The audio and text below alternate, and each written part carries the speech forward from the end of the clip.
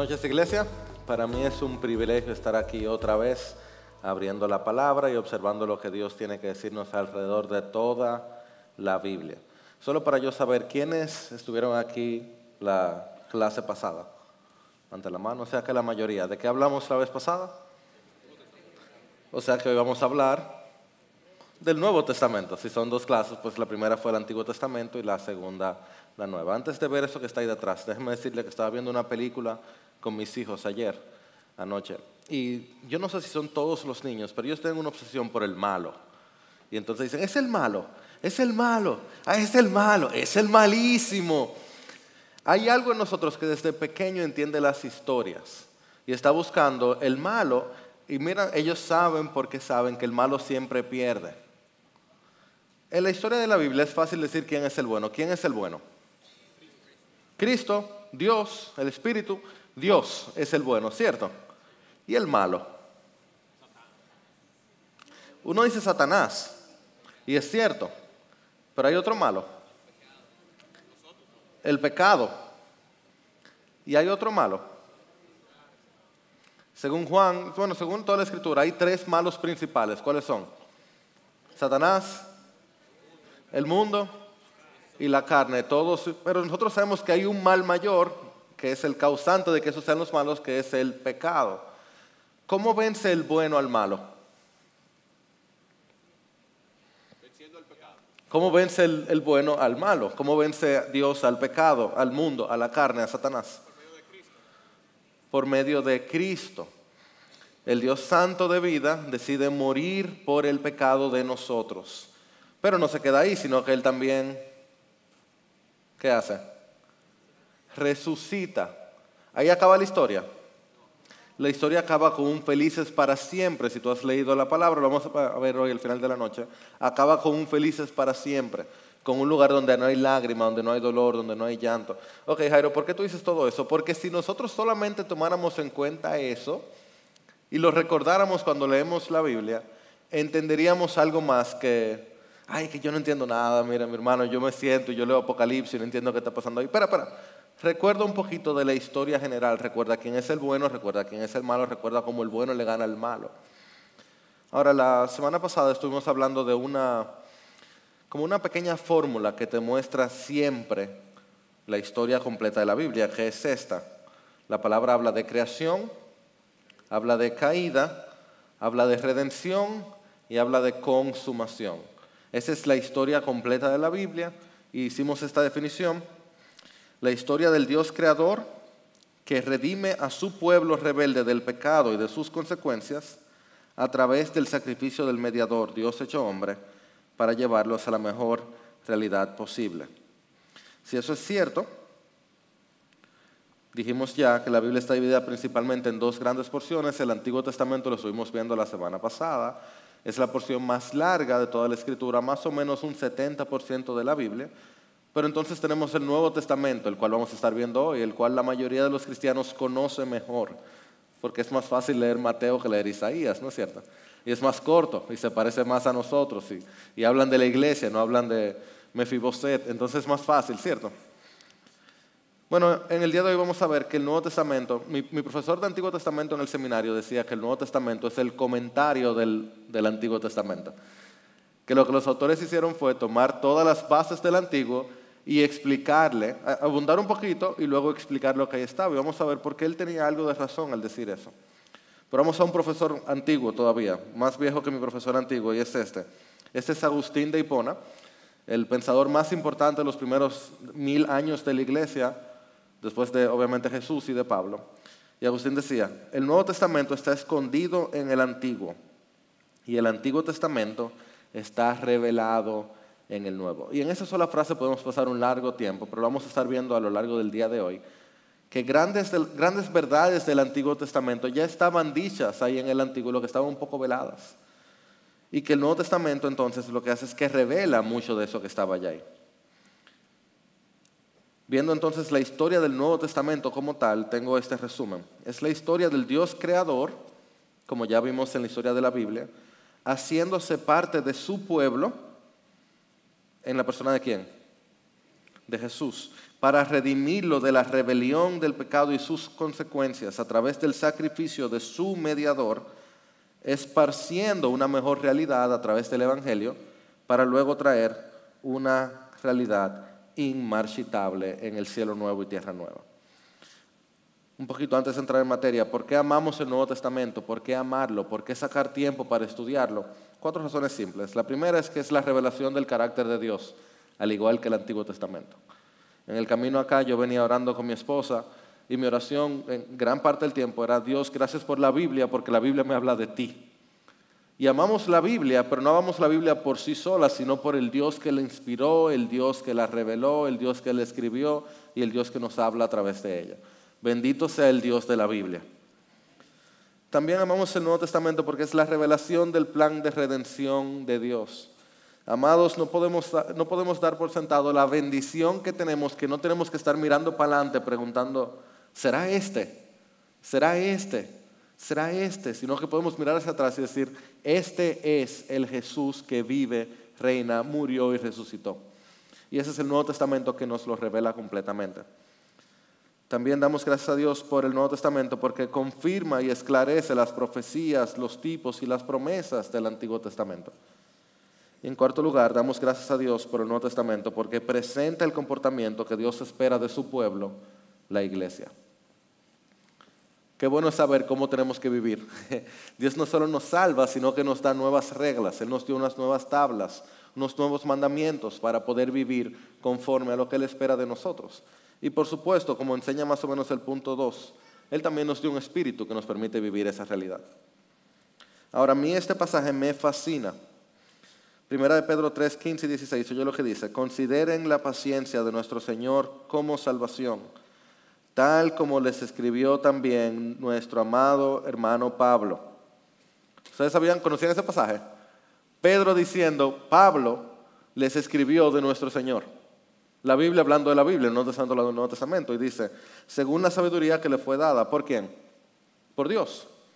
Asimismo, en todas sus cartas habla en ellas de esto, en, los cuales en las cuales hay algunas cosas difíciles de entender. Tú ves, Pedro dice que hay pedazos de Pablo que no son fáciles de entender. O sea, que no te sientas mal, hermano, sigue leyendo.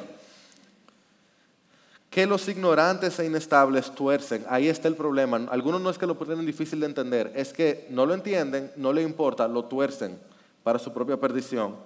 Como también tuercen el resto de las escrituras. ¿Tú te das cuenta de lo que Pedro está diciendo ahí?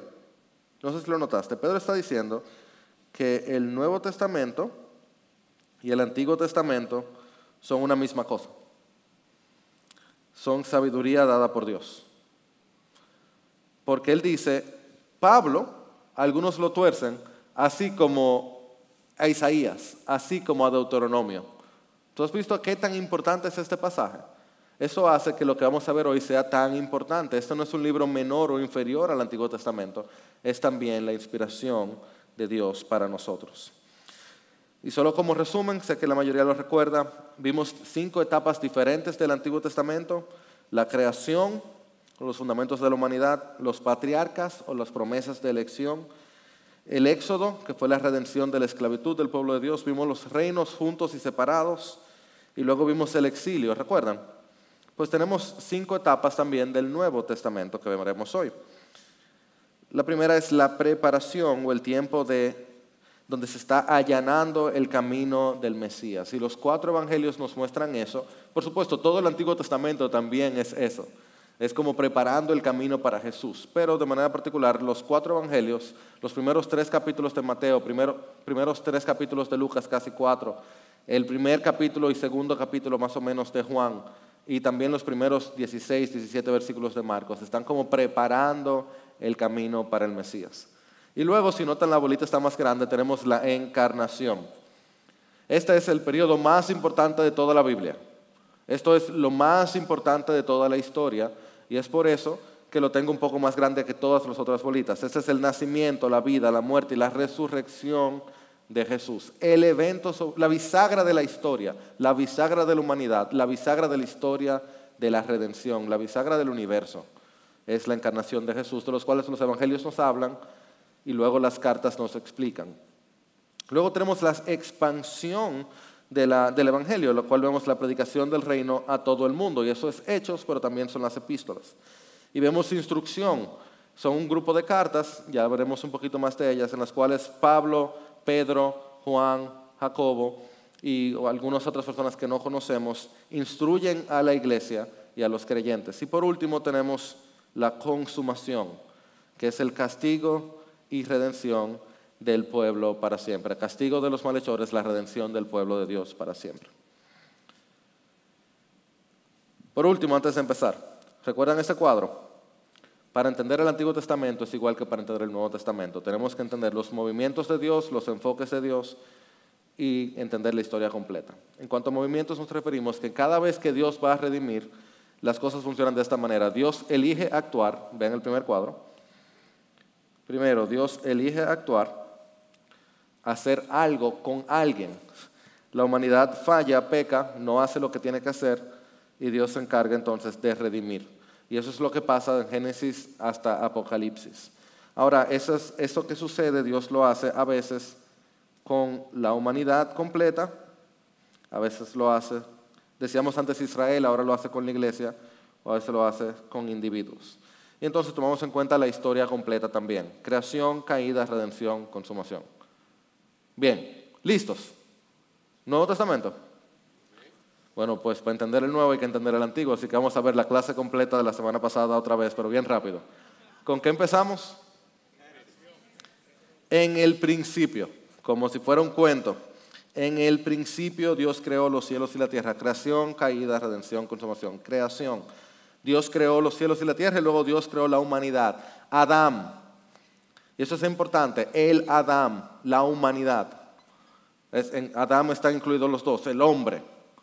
Y luego Eva, bien, los crea y les dice, sean ustedes mis representantes y ejerzan dominio sobre todo. La tierra completa es tuyo. Donde tus ojos pueden ver, suyo. No hay nada que no sea de ustedes, excepto, excepto ese árbol. Solo había un detalle que no podía ser de ellos. Y ese fue justamente el árbol. Recuerdan la historia, lamentable, dolorosa. Pero recuérdense que decíamos, ni tú ni yo somos mejores que Adán. Y el problema que tenemos es ese, que venía un ladrón o alguien venía a atacarnos y dijimos, ok, el ladrón dice que venga uno y mandamos a Superman que estaba con nosotros y Superman fue y perdió. Si Adán cayó, nosotros también hubiéramos caído. Y bien enseña la palabra, nosotros caímos en Adán, nosotros también tomamos del fruto.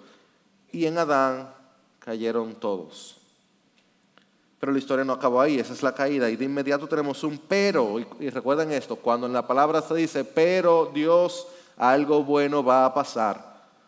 Pero el Señor Dios llamó al hombre a pesar de su pecado, el Señor llamó a Adán y el Señor Dios dijo a la serpiente, pondré enemistad entre tú y la mujer y entre su simiente, tu simiente y su simiente. Él te herirá en la cabeza y tú lo herirás en el talón. Y vemos aquí la gran promesa, la primera promesa que Dios hace a la humanidad de un redentor. Y vemos también cómo el Señor se encarga de redimir porque Él hace vestiduras de piel para Adán y su mujer. ¿Recuerdan eso? Vestiduras de piel implica que alguien murió. El día que Adán y Eva pecaron, alguien murió. Y ahí empieza toda la historia que vamos a resumir. Adán y Eva tienen su primer hijo, contentísimos. Este va a ser, dijo Dios, que en mi descendencia alguien iba a aplastar a la serpiente y el primer hijo termina matando a su hermano. Y luego sus descendientes terminan todos muriendo en el diluvio cada uno de ellos pecando tras pecado, tras pecado, tras pecado. Y Noé haya gracia. Bendito sea Dios, hay un buen hombre. Y Noé sale y sale del arca y, y adora a Dios y luego poco tiempo después se emborracha. Y así el pecado continúa y continúa. Y Génesis 1 al 11 muestra como un espiral descendiente de pecado.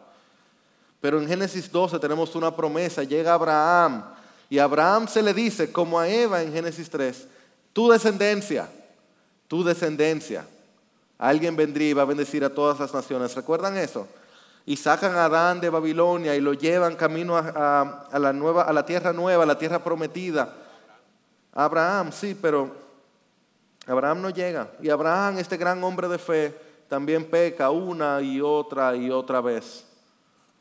Pero sí, luego llega Moisés, este sí. Llega el gran Moisés, el hombre más sorprendente de todo el Antiguo Testamento, con los grandes milagros y grandes promesas. Increíble, un hombre de fe, un hombre humilde, un hombre sabio y un hombre que no fue suficientemente digno ni santo como para entrar en la tierra prometida. Y llevó a este grupo de dos millones de israelitas y no llegó a entrar. Y entonces luego tenemos a Saúl, el primer rey de Israel, ¿no? gigante, fuerte, poderoso, pecador. Pero David, oh David, ese sí, ese pequeño, desechado por los hombres, ese que tenía un corazón para con Dios, se quedó dormido, vio a esta mujer y peca horrendamente. Y así tenemos rey tras rey tras rey que cae en pecado, hasta que Dios, a través de los profetas, siempre comenta, arrepiéntanse, arrepiéntanse, arrepiéntanse, viene el día del Señor, arrepiéntanse.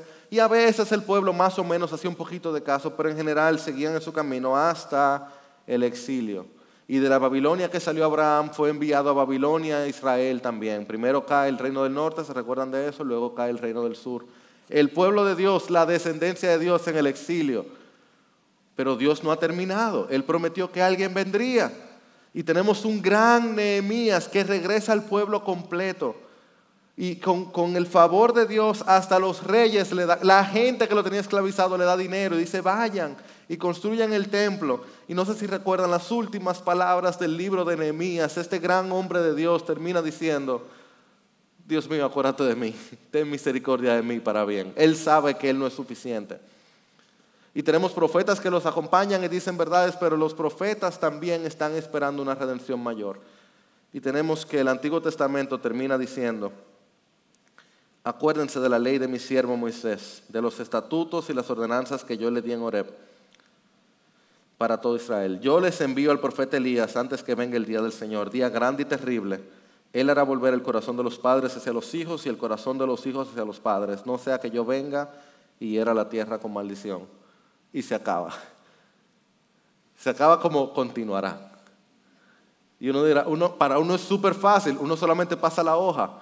Pero para Israel hubo 422 años donde no pasó nada. No había profeta, no había nueva revelación, no había nuevo escrito. El pueblo estaba pasando todo tipo de dificultades y no venía el Mesías, no venía la descendencia de Eva, la descendencia de Abraham, no venía. Pero tú pasas la hoja y dice, tu palabra, la palabra de Dios, libro de la genealogía de Jesucristo, hijo de David, hijo de Abraham. Y resumimos el antiguo y llegamos al nuevo. Y recuérdense en los momentos, ¿cierto? Creación, caída, redención Ahora vamos a ver la redención tomando toda su forma, todo su, todo su poder, toda su fuerza. Pero nota algo. Aún antes de que Cristo empiece su ministerio, oye lo que vemos en la Biblia. Primero vemos un Dios creador crear por su palabra. ¿Dónde vemos eso? Juan 1.1, lo vamos a ver ahora. En el principio era el verbo. Luego tenemos en Mateo 1, en Lucas 3, genealogías que resumen el Antiguo Testamento. Uno le pasa por arriba, pero ponte a leer detalle por detalle tú ves este hombre de Dios, este hombre de Dios, esta mujer de Dios, como resumiendo todo el Antiguo Testamento. Y luego tenemos una pareja que recibe una promesa para su descendencia. No, José, no dejes a tu mujer. Este es el redentor que viene. Y María, tú que eres virgen, este es el redentor. Pero esa descendencia es exiliada, es perseguida, se va a Egipto y de Egipto vuelve. ¿Tú no has escuchado eso antes? Y tú tienes profetas, más de uno, pero uno principalmente, que anuncian su llegada y que piden al pueblo que regresen al camino del Señor. Es como que Dios puso un preview, como un, review de todo el Antiguo Testamento, así en los primeros tres capítulos de, de los Evangelios, como un resumencito de todo lo que pasó a Israel, lo pasa Jesús antes de entrar. Entonces tengo Juan 1.1, en el principio ya existía el verbo y el verbo estaba con Dios y el verbo era Dios. Este solo pasaje es lo que te hace a ti saber que Cristo tiene que ser Dios. Yo sé que la Trinidad no es fácil de entender. Y, si has venido de otra religión, como que más o menos la cabeza se te vuela. No, no, no. Cualquiera, nadie entiende la Trinidad, ¿eh? Nadie Dios la Trinidad la entiende perfectamente. Pero yo lo creo porque es lo que la Biblia enseña. Y había un pensador de la historia de la iglesia que decía que si tú tratas de entender la Trinidad vas a perder la cabeza, pero si tratas de negarla perderás tu corazón. Pues este es el Jesús, el creador del principio de Génesis 1, se introduce en la creación y dice, todas las cosas fueron hechas por medio de Él y sin Él nada de lo que ha sido hecho fue hecho.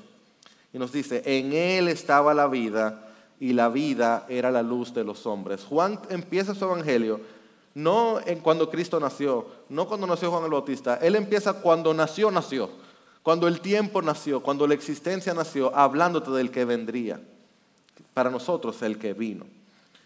Pero inmediatamente después nos habla de este gran hombre que dice Cristo que no ha habido un hombre más grande nacido de mujer que Juan el Bautista. Pero este gran e increíble hombre dice, él confesó, no negó, pero confesó, yo no soy el Cristo.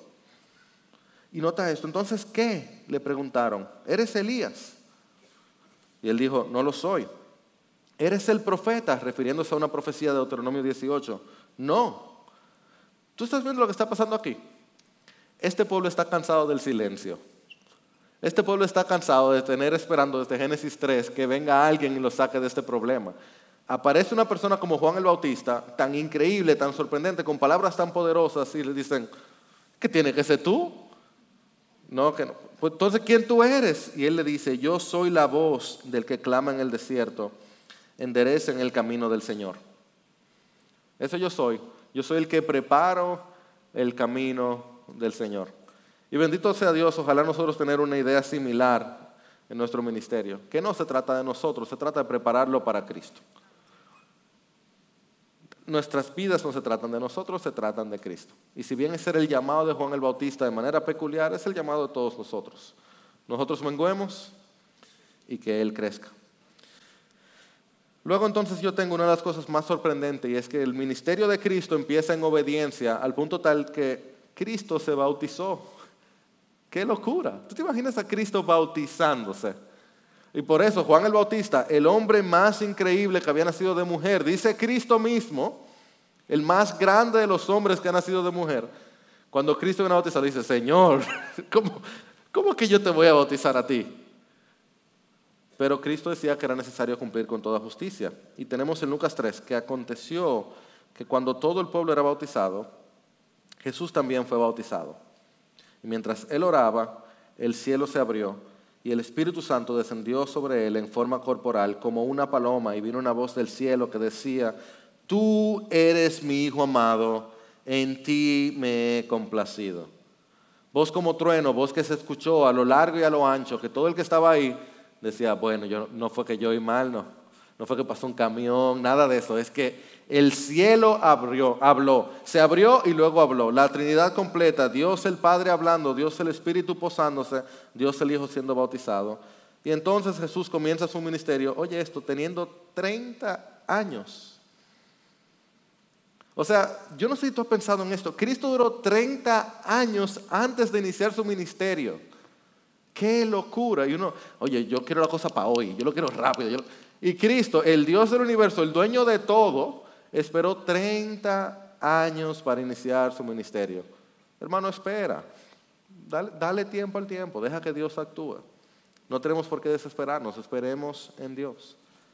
Ahora, aunque aquí no lo menciono, es interesante que este segundo Adán, el nuevo Adán, el hijo del hombre, el descendiente del hombre, empieza su ministerio justo antes, él es tentado al igual que el primer Adán. Pero Adán es tentado en las condiciones perfectas, en el jardín del Edén, en plena comunión con su esposa, plena comunión con Dios. Cristo es tentado en el desierto, luego de 40 días de hambre. Adán tenía todo, seguro acababa de comer cuando come el fruto. Y Cristo es tentado en el desierto. Adán tenía los animales paseando alrededor de él. Dice Marcos que Cristo estaba lleno de animales salvajes cerca de él. Y sin embargo, él pasa la prueba. Este es el segundo Adán, este es el Hijo del Hombre. Y yo no sé si te habías percatado de eso, que Cristo citando Daniel 8, pero hay algo más. Cuando Cristo se habla del Hijo del Hombre, él dice, yo soy la humanidad. Yo soy la nueva humanidad. Yo soy la descendencia del hombre. Yo soy el nuevo hombre. Yo soy el verdadero Adán, como le llama Pablo más adelante. Ahora, ¿qué tenemos? Jesús no lo hizo solo, sino que Él se encarga de designar un grupo de seguidores. Y nuestro pastor Miguel lo ha dicho muchas veces de diversas formas. Si tú quieres iniciar un ministerio fuerte y grande, no te armes con los apóstoles. Porque ahí tenemos ahí un traidor, uno que le negó, otro que le negó, otro que está luchando por primer lugar. Pero adivina con qué es que Dios puede trabajar, es con vasijas rotas. Al final, bueno, primero, primero los Corintios 1 dice que Dios no eligió lo sabio ni lo fuerte del mundo, que Dios eligió lo necio para que la gloria sea de Él. Tú dirás, ¿por qué en la iglesia no hay más gente rica? Porque Dios eligió lo pobre. Pero ¿por qué en la iglesia no hay más gente inteligente? Porque Dios eligió lo necio. Pero porque, Dios eligió lo débil del mundo. Mi hermano, eso es lo que tú eres, eso es lo que yo soy. Nosotros somos lo débil del mundo, lo necio, los rechazados, los que a la hora de elegir, eligen a este, ese, ese y tú quedas fuera. Y si todavía tú no te crees eso, pues todavía tú no has entendido tu lugar dentro del reino. Lo que tú y yo somos, somos necios, débiles, transformados por la gracia de Dios. Pero lo que brilla, que se ve, que la gente dice, wow, eso es la gracia de Dios pasando por nuestros quebrantamientos, por nuestros rotos, por nuestros pedazos que nos faltan. Ahí Dios brilla. Ahí se ve su gracia. Pero volviendo al punto, los apóstoles, sí, ahí, brillaba la gracia de Dios y más nada. Era solo la gracia de Dios. Jesús subió al monte, llamó a los que él quiso. Pero ¿por qué tal persona? Porque él llama a lo que él quiso, elección. Y ellos vinieron a él. Porque cuando Dios dice voy, no hay quien lo detenga. Él designó a doce para que estuvieran con él y para enviarlos a predicar y para que tuvieran autoridad de expulsar demonios. Ahora, nota otro detalle. Ya vemos desde el principio, Marcos 3, eso es al principio del ministerio de Jesús, primer año todavía. Él elige estos doce, pasan tres años con él y al final ellos no son los protagonistas, sigue siendo él. Porque mira lo que dice Marcos 7 luego. Jesús les ordenó que a nadie se lo dijeran, un gran milagro que le había hecho. Pero mientras más se lo ordenaba, tanto más ellos lo proclamaban, porque ¿cómo no se calla lo que Dios hace en nosotros? Y se asombraron en gran manera el pueblo, oye esto, diciendo, todo lo ha hecho bien. Todo lo ha hecho bien. ¿Quién es este hombre? Esa era la pregunta del momento. O sea, no había Facebook ni Twitter, pero cuando la gente se juntaba a hablar, mira, yo vengo de Capernaum, oye, hay un hombre que todo lo ha hecho bien. ¿Tú has notado lo increíble de eso? De hecho, como hemos visto ya en nuestra iglesia en varios sermones, aún a la hora de la crucifixión, Jesús tenía a todos sus enemigos y no había nadie que encontrara de qué acusarlo. Qué locura. Ese es nuestro Dios, nuestro Señor Jesús, que todo lo hizo bien. Entonces, ¿quién puede ser este? Porque Abraham, increíble, no lo hizo todo bien. Moisés, el gran Moisés, no lo hizo todo bien. Nehemías, este gran gobernador, no lo hizo todo bien. Y aún Daniel, que en la Biblia no se presentan los errores de Daniel, él cuando ora dice, Señor, ten misericordia de mí. ¿Quién es este hombre que sí lo hizo todo bien? Es que por fin llegó el que iba a aplastar la serpiente, por fin llegó el profeta, por fin llegó el Mesías. Y entonces Cristo le pregunta a sus discípulos, ¿quién dicen los hombres que soy yo? Le respondieron unos, Juan el Bautista, que ya había muerto, y otros, Elías, que era el profeta. No sé si recuerdan que Elías se fue al cielo, no pasó por Go, fue directo, descendió. Y otros, uno de los profetas. Y él les preguntó, ustedes que están cerca de mí, ¿quién dicen que soy yo?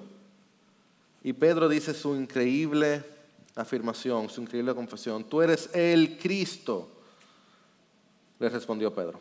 Tú eres el Cristo, el que había de venir. Ahora, déjame decirte que para los... Bueno, te voy a leer el versículo para explicarte algo. Le respondió Pedro, Jesús comenzó a enseñarles, tú eres el Cristo, el que estábamos esperando, el protagonista de la historia. ¿Y qué hace Jesús? Comenzó a enseñarles que el Hijo del Hombre debía padecer muchas cosas. El rey va a sufrir. El dueño de todo, dice, va a ser rechazado por los ancianos, por los principales sacerdotes y por los escribas. Y si eso no es suficiente, dice, y ser muerto. y después de tres días resucitar. Claro que esta última parte como que se le olvidó, porque cuando Él se muere se deprimen. Ahora, déjame decirte algo.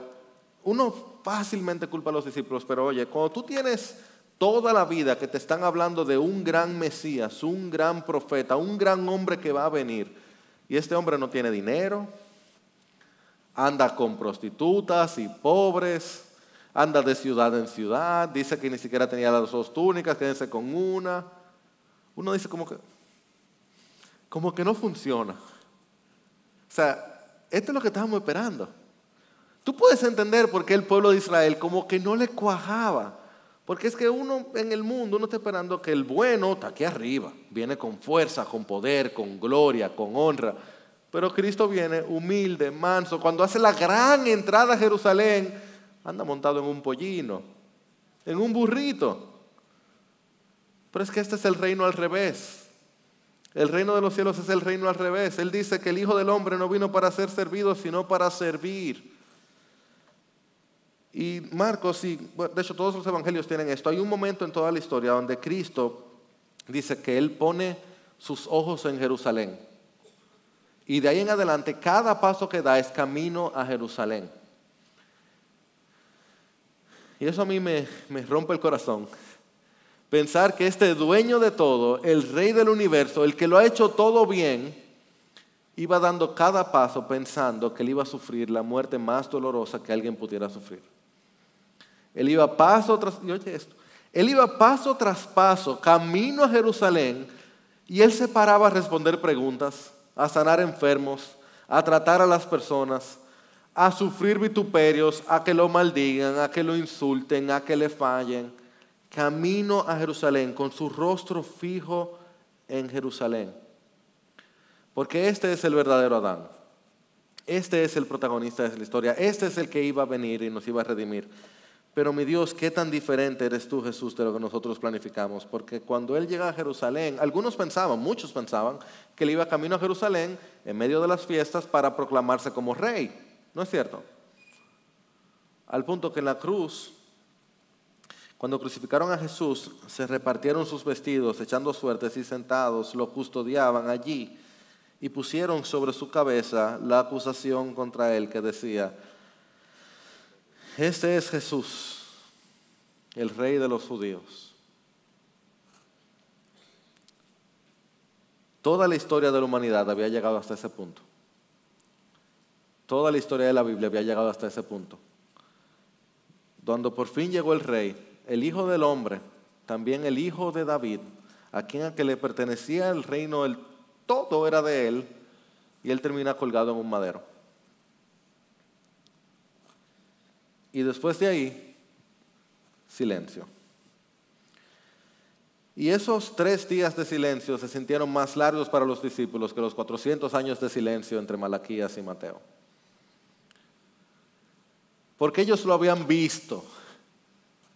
Ellos lo habían, oye, yo quiero que tú entiendas esto. Uno, uno cree en fe, y yo creo con todo mi corazón en Jesús, pero yo no le he visto. Pero imagínate andar tres años con un hombre que nunca se equivoca, que nunca ha perdido un pleito, y luego verlo desnudo, colgado, desangrado, sin poder respirar. Y eso era lo que nosotros merecíamos. Y eso era justamente lo que nosotros merecíamos. Y ese es nuestro Dios que nos perdona, nos ama, nos sigue amando y no se quedó ahí. Porque los evangelios dicen que María estaba afuera llorando junto al sepulcro y mientras lloraba se inclinó y miró dentro del sepulcro. Y Mateo nos dice que se produjo un gran terremoto porque un ángel del Señor descendiendo del cielo y acercándose removió la piedra y se sentó sobre ella. Y vemos en Marcos que entrando en el sepulcro vieron un joven sentado al lado derecho vestido con ropaje blanco y ellas se asustaron. Pero él les dijo, no se asusten. Y Lucas 24 nos dice, Jesús se puso en medio de ellos y les dijo, paz. Paz a ustedes, iglesia. Paz a ustedes, mis apóstoles. Ya hay paz. Llegó la, la, redención genuina, completa. Llegó la salvación. Ya hay verdadera paz. Y este es el momento sobre el cual toda la historia de la humanidad gira. Porque ahora pasamos de ser enemigos de Dios a hijos de Dios. Pasamos de ser los exiliados, odiados, castigados por nuestro pecado, a ser los hijos amados y bendecidos por la obediencia de Cristo. Bendito sea nuestro Señor, bendito sea esta hermosa historia que no se queda ahí. Porque Cristo luego asciende. Luego de resucitado está con los discípulos por un par de semanas, por 40 días, dice. Y luego Él les dice, recibirán poder cuando el Espíritu Santo venga sobre ustedes. Y serán mis testigos en Jerusalén, donde estamos, en toda Judea, esta área, Samaria, un poco más al norte, y hasta los confines de la tierra. Y después de haber dicho estas cosas, fue elevado mientras ellos miraban, y una nube lo recibió y lo cortó de sus ojos. Pero aquí había algo diferente, porque ya Dios había dado muchos detalles, se había enseñado mucho a su pueblo. Y ciertamente ahora había perdón de pecados, pero si se recuerdan el triángulo, elección, transgresión, redención, aquí tenemos otra vez la elección, Dios le dijo, ustedes van a ser mis testigos, pero tú sabes que lo que viene es transgresión, tú sabes que lo que viene no es bueno. ¿Por qué sería diferente esta vez? ¿Qué causa la diferencia? ¿Por qué no iba a ser que ahora la iglesia iba a caer cayendo a un espiral cada vez peor y cada vez peor y cada vez peor? Porque ya el Mesías había venido y ahora ellos tenían, nosotros teníamos un poder que antes no se tenía, el poder del Espíritu Santo. Si bien el Espíritu Santo había hecho aparición aquí allí en, en, el Antiguo Testamento, hacía algo aquí, hacía algo allá, ahora Cristo dice que sus discípulos iban a recibir el Espíritu Santo, que iban a tener poder. Amado hermano, Romanos 8 enseña que fue el Espíritu de Jesús, el Espíritu Santo que lo resucitó de entre los muertos. Y el 8.15 enseña que ese Espíritu habita en ti y en mí.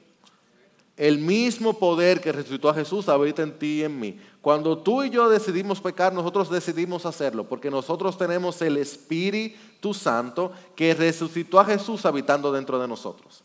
Ese es el poder que tenemos a un nivel tal que mira lo que pasa un capítulo después. Pedro con muchas otras palabras, testificaba solemnemente y les exhortaba diciendo, sean salvos de esta perversa generación. ¿Qué sermón?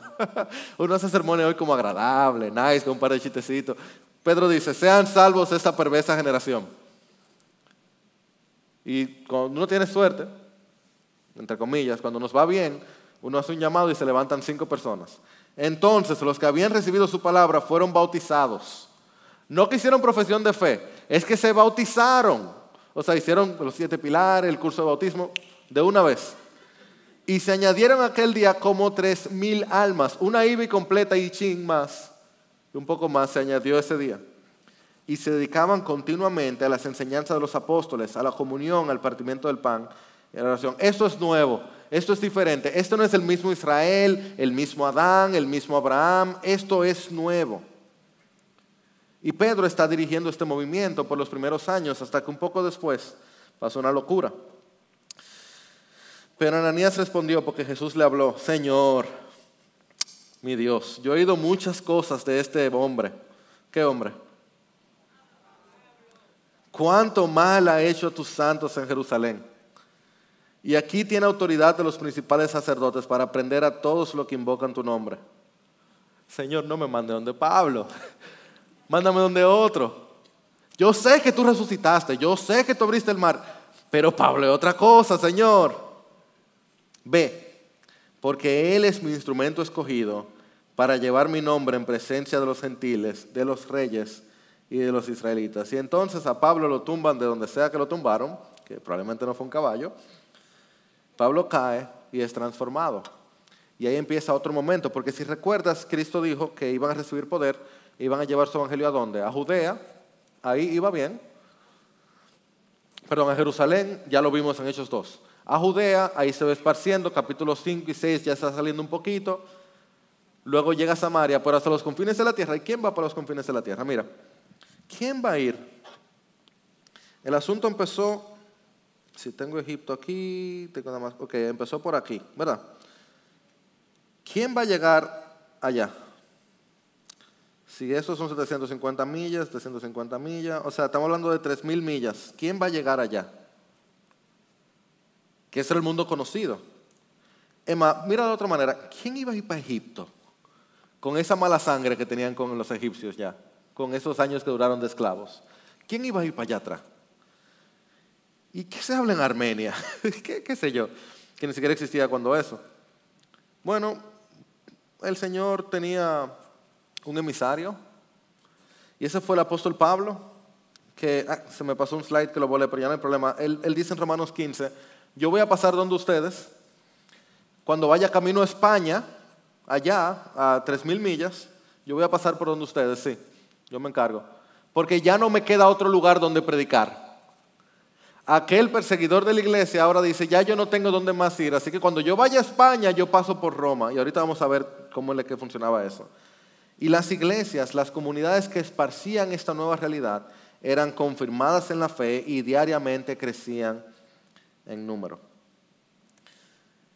Pero la historia no se acaba ahí porque Pablo dice en Hechos 20, este fue el lugar donde se espera, este es Éfeso donde pasa todo esto, dice, tengan cuidado de sí mismo y de toda la congregación, en medio del cual el Espíritu Santo les ha hecho obispos para pastorear la iglesia de Dios, la cual él compró con su propia sangre.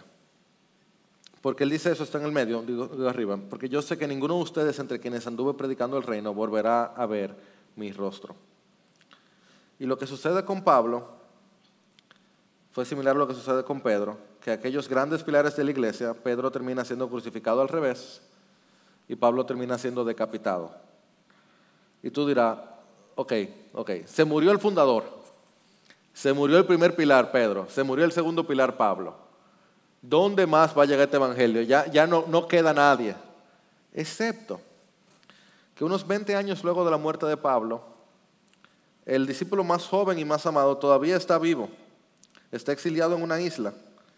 Y él escribe en este libro de Apocalipsis, bienaventurado el que lee y los que oyen las palabras de la profecía y guardan las cosas que están escritas en ella, porque el tiempo está cerca. Juan, a las siete iglesias que están en Asia, Gracia y paz de ustedes de parte de aquel que es y que era y que ha de venir. Porque esta historia todavía continuaba. Porque la historia de la Biblia no se había acabado. Porque faltaba un capítulo todavía. Y déjame mostrarte estas seis mil millas. Dame un segundito ahí. ¿Se ve? Sí se ve. Este es nuestro globo terráqueo, ¿cierto? Estamos por aquí. Vamos para acá. La historia empezó por aquí, ¿se recuerdan? Israel.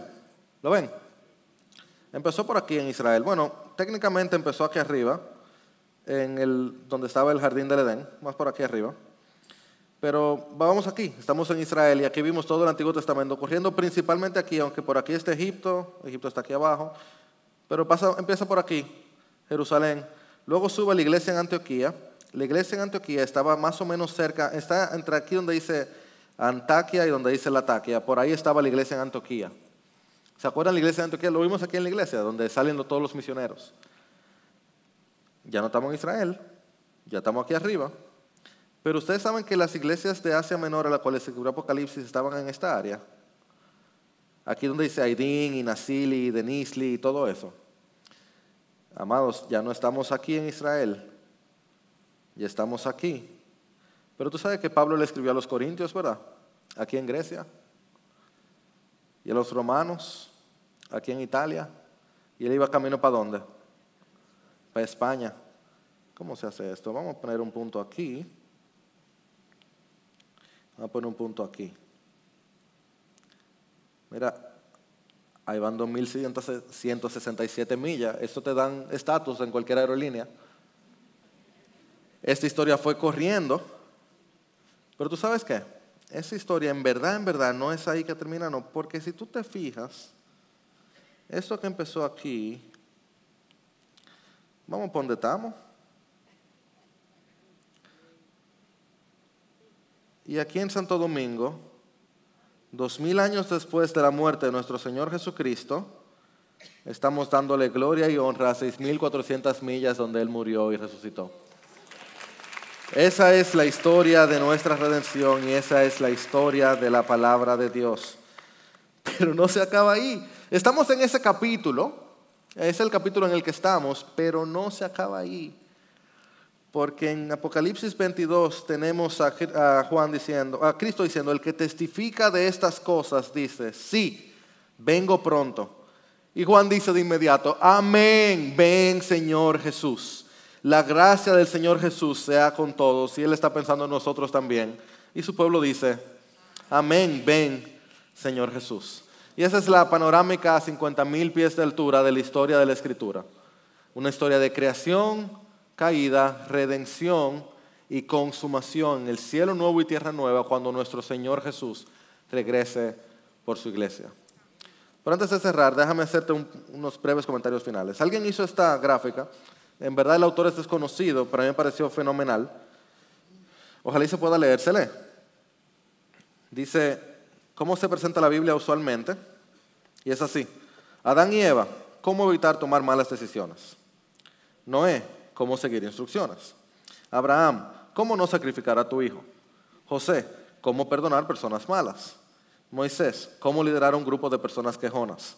Sansón, cómo evitar perder tus superpoderes. David y Goliat, cómo ser valiente para varones. Esther, cómo ser valiente para mujeres. Salmos, versículos para memorizar.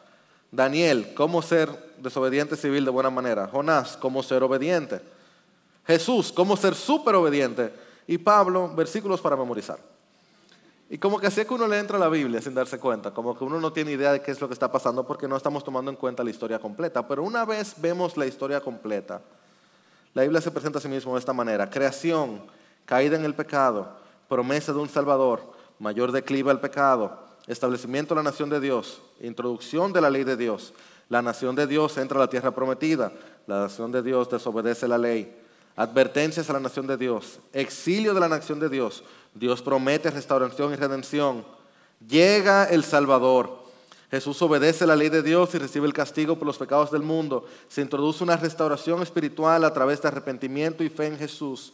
Se establece la iglesia y vendrá una restauración final. Esa es otra manera mucho más viva, verdadera, edificante y de ánimo cuando yo leo la escritura, porque no la veo como una serie de historias desconectadas sino como una misma historia con un protagonista venciendo el pecado y la muerte y viviendo para siempre, y nosotros juntamente con Él.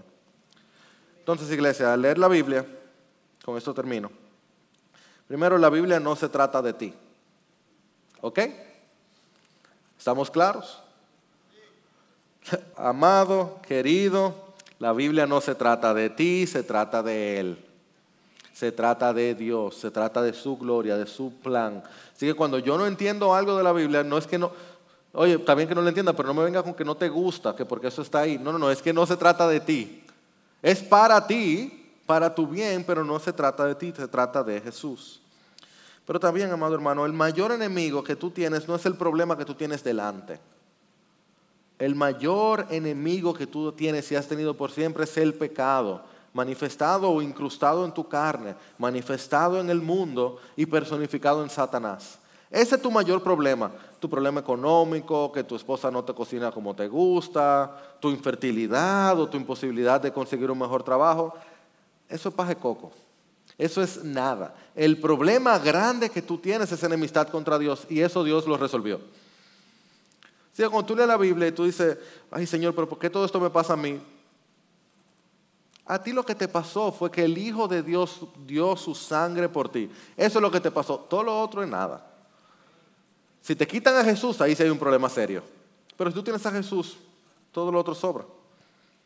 Ahora, mientras lees la Biblia, presta atención a las obras de redención de Dios. Mientras tú estás leyendo, está buscando cómo es que Dios va a actuar, qué es lo que Dios va a hacer y cómo eso tiene que ver de alguna manera u otra, sea una avenida principal o sea una callecita, me apunta o sale del Evangelio. Ah, me apunta a Cristo Jesús o se desprende de lo que Cristo Jesús hizo. Aún los mandamientos que Dios nos da, que son buenos, agradables, son perfectos, son deseables, se desprenden de su sacrificio y los hacemos no para agradar a Dios, sino porque hemos sido agradados por Dios. No para que Dios nos ame más, sino porque Dios nos amó tanto ya que queremos obedecerle. Así que presta atención a las obras de redención de Dios. Y por último, amado hermano, cuando tú leas tu Biblia, conociendo su historia, Vive la vida con esperanza porque viene un final feliz. Porque al final de todo seremos felices para siempre.